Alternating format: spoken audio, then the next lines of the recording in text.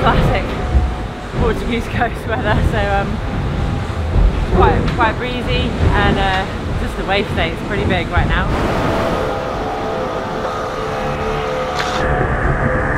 So yeah, I mean it's fun downwind sailing, but big waves, a lot of water coming over the bow. Windy night, wet. You first meal from Lisbon, so trying to get some rest. I was pretty broken this morning. I haven't had a lot of sleep, so I'm looking forward to getting a, a few hours now before we drive back.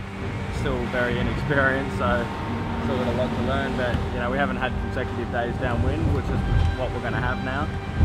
And uh, and so I think these next few days are going to be really tough.